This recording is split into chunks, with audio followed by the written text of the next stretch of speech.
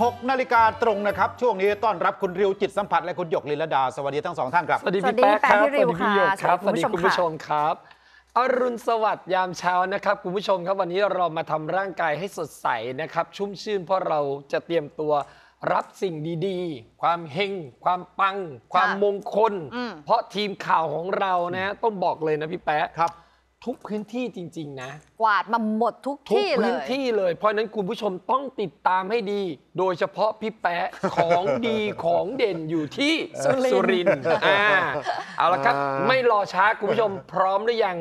พร้อมที่จะองค์ลงหรือยังครับ ข่าวเช้าในวันนี้นะ เราเปิดประเด็นเรื่องขององค์ลงครับผม ซึ่งชาวบ้านต่างตื่นเต้นกันมาก เพราะว่าองค์ที่ลงนั้น เป็นเอ่อเขาบอกว่าเป็นพ่อปู่นะฮะเป็นความเชื่อของเขานะฮะแล้วก็ได้เลขสมใจด้วยนะครับผมเหตุการณ์นี้เกิดขึ้นที่บ้านพี่แปะครับ ที่จังหวัดสุรินทร์นะครับพ่อปู่สมิงพรายนะครับ นี่ที่คุณผู้ชมเห็นอยู่นะฮะกำลังเตรียมขันห้าจู่ๆพี่แปะในครัขบณะเตรียมขันนะคุณผู้ชม ก็มีอาการนะฮะเหมือนถูกสิงร่างนี่นี่นี่นี่อาการสั่นละ อืม แล้วก็หัวทิ่มลงพื้นนะฮะ ทำตัวแปลกๆครับ ชาวบ้านก็พอเห็นปุ๊บเนี่ยก็ต่างลุ้นกันนะว่าจะเกิดอะไรขึ้นนะฮะเหตุการณ์นี้เกิดขึ้นที่ศาลเจ้าพ่อขุนเพียรนะฮะอำเภอบ้านหานฮีนะครับ ผมจังหวัดสุรินทร์นะฮะอ่า ชาวบ้านได้เชิญพ่อปู่สมิงพรายนะครับ มาประกอบพิธีเพื่อขอโชคนะฮะ ในขณะที่ทำพิธีอยู่นั้นเนี่ยก็เกิดอาการแบบที่นี่คุณผู้ชมเห็นนะ เอาหัวสั่นตัวทิ่มนะฮะลง แล้วก็ทำมือไขว้หลังแบบแปลกๆนะครับ หลังจากนั้นหันหน้าออกจากศาลชาวบ้านก็ต่างพากันแบบตกใจกับเหตุการณ์ที่เกิดขึ้นพี่โยงเอ๊ะเป็นอะไรหรือเปล่า เป็นลมหรือเปล่า เออเออ เออแต่ไม่ใช่นะฮะ ชาวบ้านก็เออ พอเห็นอาการแบบนี้ ทีมข่าวเราก็เลยไม่พลาดครับ รีบถามเลยนะฮะ ถามไปที่คุณสมัครศิราชัยอายุ 59 ปีนะครับ เป็นชาวบ้านที่อยู่ในเหตุการณ์นะครับ ก็คุณสมัครเนี่ยพอเห็นเหตุการณ์นี้ปุ๊บ ไม่รอช้าเลย รีบถามพ่อปู่เลยพ่อปู่พ่อปู่ตกลงเลขอะไร นี่พ่อปู่ก็บอกมาเลย ในกระดาษเมื่อกี้อะนี่ไง มาละมาละมาละคุณผู้ชมดูครับ พ่อปู่บอกเลยครับ พอพ่อปู่พูดจบเท่านั้นแหละ ล้มหงายหลังตึ้งไปเลยนะครับ ผมแล้วชาวบ้านบอกว่าที่ผ่านมานะครับ ที่ศาลเจ้าพ่อขุนเพียรแห่งเนี้ยให้โชคมาแล้วสามงวดติดๆนะฮะเขาบอกว่าถ้างวดนี้ได้อีกนะพี่โยกค่ะพ่อปู่เตรียมตัวเลย ได้สารหลังใหม่แน่ จะทำให้ดีขึ้นค่ะครับปนะครับปงผม โอ้โห คุณผู้ชมเป็นไงล่ะครับ เลขชัดแจ๋วเลยฮะ ทีมงานเราโชยสักนิดได้ไหมหมดหมดแรงเลยพ่อปู่หมดแรง พ่อปู่หมดแรงนอนหงายท้องลำเยอะเลย ลำเยอะ อ่าจากพ่อปู่สมิงพรายมาครับ ถึงพ่อปู่ศรีสุวรรณนาคราชกันหน่อยนี่อ่าอยู่ที่อุทัยธานีอ่า ประธานโทษเขาบอกว่าเขาไปถ่ายภาพอยู่ที่ที่แม่น้ำสแกกรังนี่นะครับ เขาไปเจอลักษณะคล้ายๆ พญานาคลอยอยู่ที่น้ำจริงเหรออ่าคอยดูคุณเลียวดูนะครับนี่เออ นะฮะ เมื่อวานนี้ที่วัดเวรุวนาราม หรือวัดยางอยู่ที่ตำบลท่าสุงนะฮะอยู่ที่อุทัยธานีดูนะดูนะข้างบนและข้างล่าง ข้างบนเป็นฟ้าข้างล่างเป็นน้ำครับนี่นะครับเขาได้จัดงานบวงสรวงพ่อปู่ศรีสุวรรณนาคราชครับแต่ขณะที่ทำพิธีเนี่ยนะเขาบอกว่าเนี่ยมีสิ่งที่ไม่คาดคิดเกิดขึ้น อันแรกเลยนะ ขณะที่กำลังถ่ายรูปแม่น้ำสายสแกกรัง ได้ถ่ายติดภาพคล้ายพญานาคอยู่กลางน้ำเอาดูอีกทีสิ ให้พี่ดิวดูใช่ไหมเออนี่โอ้คล้โหายที่เป็นเส้นใช่ไหมฮะที่เป็นเส้นในน้ำๆเขาว่าประเขามาณเลยนั้นคิดว่าเป็นพใช่ญาใช่นาคใช่เขาบอกว่าตัวยาวมากครับ แล้วก็มีสายรุ้งเนี่ยวนรอบพญานาค ทั้งทั้งๆที่ไม่มีฝนตกเอาสิคุณเร็วอ่านี่นี่อุทัยธานี อันนี้อันแรกนะ อยู่ดีก็เกิดลุงขึ้นมาใช่ใช่ใช่ปรากฏการณ์แรก ปรากฏการณ์ที่สองในงานเดียวกันครับนะครับขณะที่ชาวบ้านนำผ้าไปเปลี่ยนให้พ่อปู่ ไปพบงูพิษตัวหนึ่งอยู่ที่คอเลื้อยขึ้นไปบริเวณคอของ ของพ่อปู่นะคครัรับบ เลื้อยไปแบบไม่กลัวคนนะ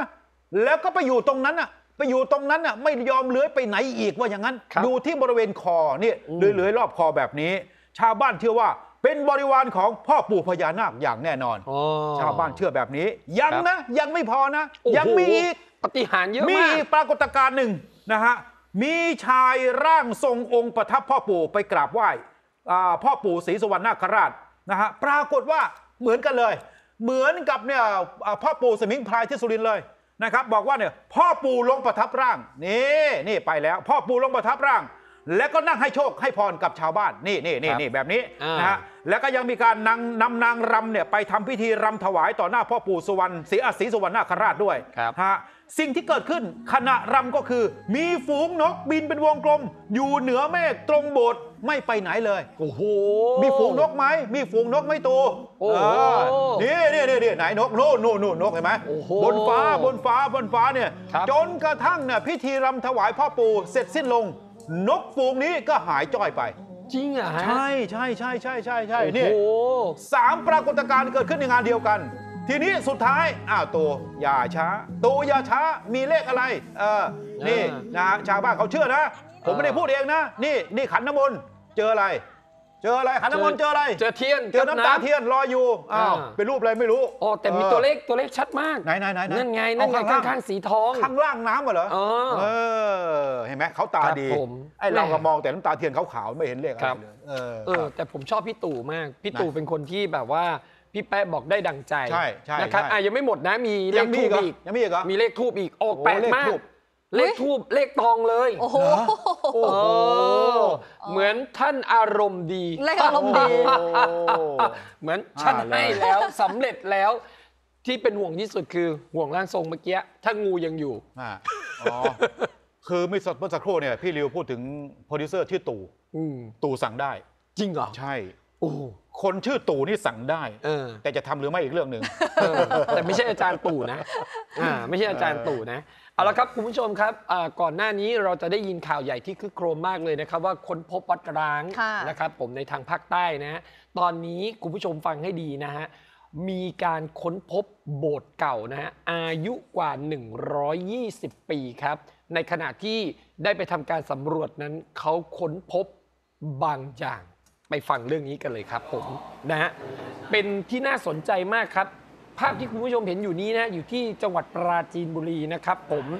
โดยผู้สื่อข่าวพบนะฮะว่ามีวัดเนี่ยที่ถูกทิ้งร้างนะเชื่อว่าเป็นโบสถ์เก่า ตั้งอยู่พื้นที่หมู่หนึ่งอำเภอหัวว่าอำเภอศรีมหาโพธิ์จังหวัดปราจีนบุรีนะครับ ผมคาดว่าถูกสร้างช่วงรัชสมัยรัชกาลที่4นะฮะหรือจนถึงปัจจุบันนั่นเองนะครับ แล้วก็ได้มีการทำการบูรณะตั้งแต่ปี 2558 ซึ่งลักษณะของโบสถ์เก่านั้นก็จะเป็นหลังคาไม้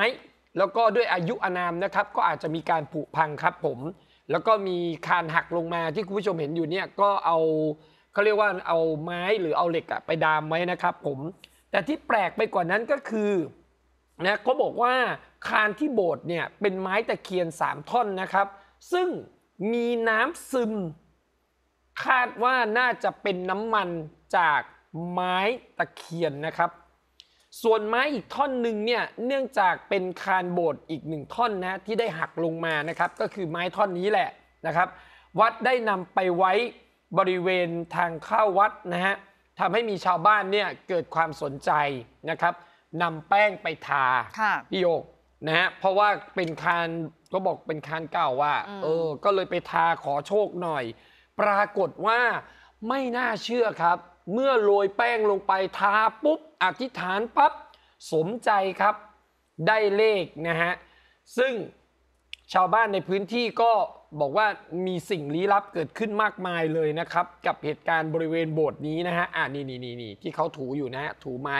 ได้เลขนะครับเขาบอกบางคนเคยถูกผีหลอก บางคนเคยเห็นผีชุดไทยนะฮะมาเดินในขณะที่ตนกำลังขูดขอหวยอยู่นะครับผม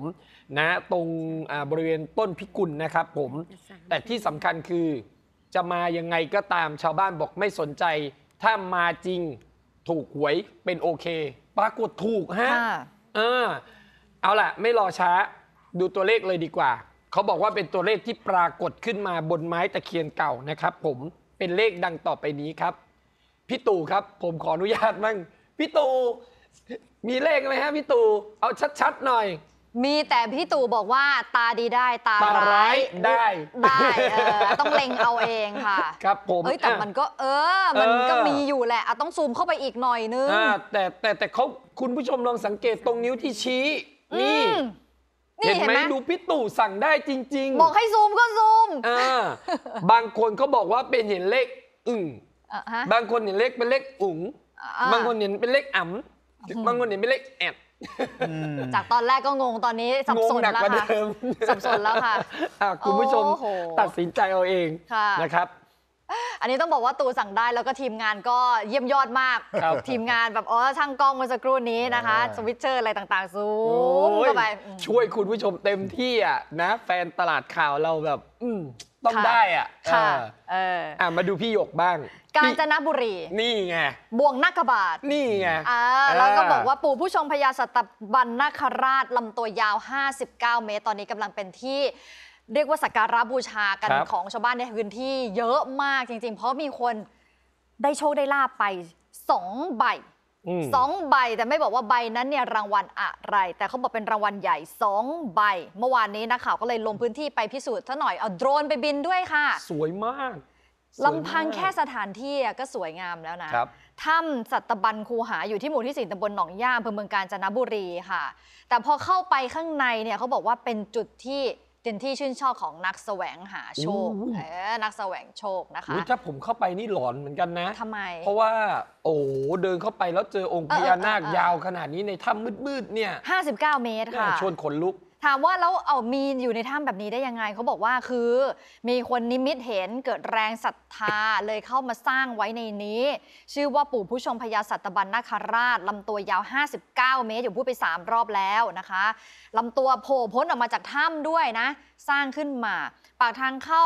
ไปทางเข้าถ้ำเนี่ยเป็นพญานาคกินหางสีเขียวเรียกบ่วงนาคบาท คือตามโบราณเขาว่าไว้ว่ายังไงคะพี่ริวงูกินหางอะ เขาบอกว่าเหมือนมีกินไม่รู้จบอะเออ มีกินมีใช้ไม่รู้จบ เหมือนคนจีนอะ คือเลขที่วนเวียนเป็นอินฟินิตี้ วนแบบนั้นนะคะครับ นั่นแหละค่ะเป็นสัญลักษณ์ความอุดมสมบูรณ์ เวลาคนที่จะไปเนี่ยเขาจะต้องนี่ค่ะ ตรงตรงเอ่อพญานาคสีเขียวอันนั้นโบทนาคบาทอ่าพญานาคสีแดงนี่คือพ่อ ยาวอปู่อกมาผู้จากชงในถ้ำใช่พ่อปู่ผู้ชงพญาสัตบันนาคราชนะคะ เวลาเดินครับให้เดินลอดบวง และท้องพญานาคแล้วอธิษฐานเลยอธิษฐานอยากได้อะไรอธิษฐานไปอืมในถ้ำมีบ่อน้ำศักดิ์สิทธิ์ที่บอกว่าไม่เคยเหือดแห้งผุดขึ้นมาด้วยครับก็เชื่อว่าบริเวณนี้เป็นจุดที่ปู่ผู้ชงพญาสัตบันนาคราชนะใช้เป็นเส้นทางเข้าออกขึ้นมาฟังธรรมครับ นะคะแล้วก็เป็นเส้นทางเมืองลับแลที่ชาวบ้านเคยเห็นคนโบราณเดินเข้าออกบ่อยครั้ง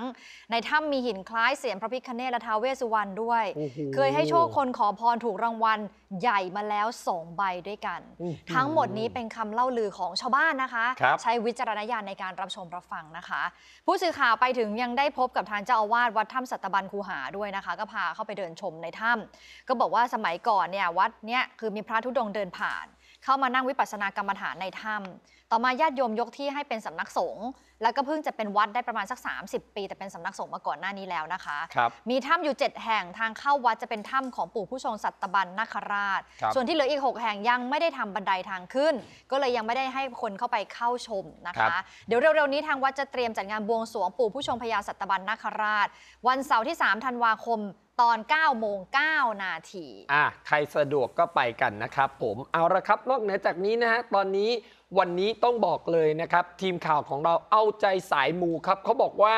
ใครที่ชื่นชอบสายมูไหว้จบครบในที่เดียวค่ะไม่ต้องไปที่อื่นเลย เอาเป็นว่าไปแล้วได้แน่ ๆเลยนะครับผมอยู่ที่จังหวัดสุพรรณบุรีครับผมนะต้องบอกว่าเป็นอีกหนึ่งสถานที่เอาใจสายมูนี่ คุณผู้ชมดู ครบทุกอย่างจริง ๆ นะฮะเขาบอกว่าเป็นที่ขอพรขอโชคนะครับผมเป็นพุทธเป็นพุทธเทวสถานสมเด็จพระพุทธทานโตพรหมรังสีนะครับ เป็นหนึ่งเดียวในประเทศไทยเลยนะครับเขาบอกว่าพุทธเทวสถานสมเด็จพระพุทธจารย์โตพรหมรังสี เป็นแลนด์มาร์คแห่งใหม่ในจังหวัดสุพรรณบุรีนะครับ ภายในสถานที่แห่งนี้นะครับเป็นที่รวมสิ่งศักดิ์สิทธิ์ จากทั่วทุกมุมโลกเลยมาอยู่ที่นี่อืมแล้วก็ยิ่งใหญ่สวยงาม เต็มไปด้วยพุทธศิลป์เทวรูป วิหารพระพิคเนตองค์ท้าวเวสสุวรรณ50 องค์ รานพระราหู 8 ทิศ รูปปั้นพญานคราช องค์เจ้าแม่กวนอิม เทพเซียน แต่ละองค์นั้นทำได้สวยงาม จัดว่าเป็นที่เดียวที่สักการะครบ ทุกรูปแบบบนเนื้อที่ 47 ไร่ฟังให้ดีนะครับนะฮะแล้วก็ตอนนี้สร้างไปแล้วประมาณ 47%นอืมะครับก็ครึ่งครึ่งๆค่ะ มูลค่ากว่า 10 ล้านบาทนะครับค่ะสำหรับคนที่ชื่นชอบสายมูเขาบอกว่ามี 6 จุดที่ต้องไปไหว้นะโอ้โหต้องไปเลยนะ ย้ำเลยว่าต้องไปหนึ่งก็คือไปไหว้หลวงอ่าหลวงพ่อโตนะครับ หลวงพ่อทวดองค์ใหญ่ก่อน จุดที่สองไปไหว้องค์ท้าเวสุวรรณองค์ใหญ่ ปางประธานพร จุดที่สามไปสักการะองค์อนันตนาคราชนะครับ จุดที่สี่สักการะพระมหาพระเทพนะครับ องค์พระพิคเนตปรางครอบครัวมีสุขนะครับห้าบูชาพระราหูครับ เพื่อปัดเป่าสิ่งอัปมงคลทั้งหลาย และจุดที่ 6 คือไฮไลท์ครับ กุมารจุกวัดใหญ่ชัยมงคลนะครับ แล้วก็เขาบอกว่า เรื่องเสี่ยงโชค เรื่องทรัพย์ก็ไม่พลาดเช่นเดียวกันนะครับ บรรดานักท่องเที่ยวที่ไปก็จุดประทัดนะครับ แล้วเลขที่ได้พี่ตูขอเลยอะเห็นความสวยงามละ ขอเลย เลขประทัดมีไหมฮะ นี่ จบที่เราเล่ามาทั้งหมด จบตรงนี้แหละ ความสวยงามเดี๋ยวคุณผู้ชมไปชมแน่นอนนะฮะ แต่ที่แน่ๆ คือสิ่งที่อยู่ในมือครับผมสำหรับเอ่อสถานที่แห่งนี้นะครับ ผมจะทำการเปิดให้เข้าชมฟรีทุกวันนะตั้งแต่เวลา7นาฬิกาถึงเวลา 18นาฬิกาอ่านี่เลขทูบด้วยอ่าไปที่จังหวัดอ่างทองกันหน่อยนะคครัรับบหลังจากที่มีการประกาศผลสอบนะครับเนี่ยครูผู้ช่วยเอ่อหลังจากที่เขาสอบไปนะบรรดาอาชีพของเอ่อเรือจ้างเนี่ยมีสุภาพสตรีท่านหนึ่งท่านไปสอบ และก็สอบติดนะโอ้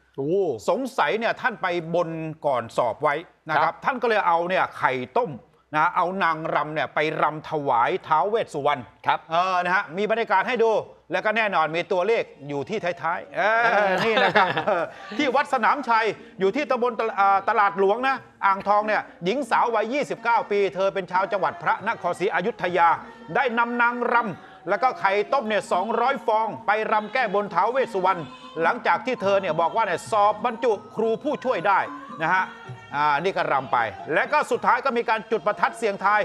เอานำไปเสียงดวงอ่านะตูไม่ต้องรอช้าตูอ่าเพราะว่าเดี๋ยวฟุตบอลเขามารอแล้วนี่นะครับเนี่ยบอลโลกเขามารอแล้วเอาเลยเลขตัวเลขมาเลยตูครับ นี่นะฮะนี่นี่นี่ครูนะเนี่ยเสื้อสีขาวเนี่ยเธอสอบครูผู้ช่วยได้ พี่แป๊ะเราควรสนใจเลขหรือสนใจครูดีอ่าก็สนใจทั้งสองอย่างครับ ยินดีกับครู ยินดีกับครูคครัรูบอาจจะมาให้โชคก็ได้อ่าเอออ้าวของพี่แป๊ะครับมีคุณครูสาวของพี่ริวก็มีเหมือนกันครับ ผมมีสาวใหญ่อ่ามีสาวคนหนึ่งนะครับ ที่จังหวัดนครราชสีมานะเขาบอกว่าทุ่มเงินนับหมื่นเลยนะ ซื้อชุดไทยถวายค่ะหลังจากนะฮะต้องบอกว่า เจ้าแม่ตะเคียนทองเนี่ยให้หวยถูกติดต่อกันเกือบทุกงวดเลย เชื่อว่าเป็นบารมีของเจ้าแม่ตะเคียนมาให้โชคนั่นเองนะครับสถานที่ตรงนี้อยู่ที่บริเวณอุทยานตะเคียนทองนะฮะอยู่ที่อำเภอบัวใหญ่จังหวัดนครราชสีมา ชาวบ้านนะครับรวมถึงผู้ที่มีศรัทธาผู้มีความเชื่อ ในองค์เจ้าแม่ตะเคียนทองนะครับได้นำดอกไม้ทูบเทียน มากราบไหว้ภายในอุทยานเพื่ออะไรครับค่ะแน่นอนก่อนวันหวยออกก็ต้องขอ โชคขอลาบขอความสำเร็จนะฮะ โดยในภาพคุณผู้ชมครับ นางสาวสุภลักษณ์แป้นนอกอายุ 42 ปี เป็นชาวบ้านในอำเภอบัวใหญ่ บอกว่าตัวเองเนี่ยถูกหวยจากเจ้าแม่ตะเคียนทองเกือบทุกงวดนะซึ่งเจ้าแม่ตะเคียนทองเนี่ยจะตามไปเข้าฝันนะครับ เพราะฉะนั้นเนี่ยหลังจากที่เข้าฝันก็ถูกในทุกครั้งเลย เอาเป็นว่าผมเล่าข่าวสั้นๆ เพราะข่าวนี้ไม่มีเลขให้คุณผู้ชมครับ เพราะพี่ตู่บอกว่า เอ่อคุณสุภลักษณ์บอกว่าถ้าอยากได้อธิษฐานครับครับ เดี๋ยวเจ้าแม่ไปเข้าฝันเอง ค่ะ เพราะฉะนั้นบทสรุปสุดท้ายของข่าวนี้คือ คืนนี้รอท่านไปเข้าฝันฮะครับ เออมีก็ว่าชุดไทยอะไรทำไมเป็นหมื่น อ๋อ เป็นชุดลายผ้าไทย อืม เออคิดว่าเป็นแบบเออไม่ไม่ไม่ได้เป็นชุดไทยโบราณเหมือนที่เราคุ้นเคยครับ นะเป็นผ้าดีๆ เป็นลายสวยๆลายทอแบบนี้ ครับอะอืม เจ้าแม่อยู่คืนนี้อย่าลืมไปเข้าฝัน แฟนตลาดข่าวเราด้วยนะฮะ ค่ะครับอืมอะวันนี้ก็ขอบคุณพี่ริวด้วยนะคะ ครับขอบผคุณมครับพี่เร็ว อะแต่ว่าก่อนจะจากไปนะครับ คุณผู้ชมครับ ถ้าเลขมันเยอะถ้าจำมันยากนักก็ติดตามนะฮะ นี่พี่แปะพี่หยกนะครับ ในเพจของเรารวบรวมมาให้แล้วครับ ค่ะ ขอบคุณพี่รับริวค่ะสวัสดีขอบคุณครับพี่เร็ว สวัสดีครับสวัสดีครับ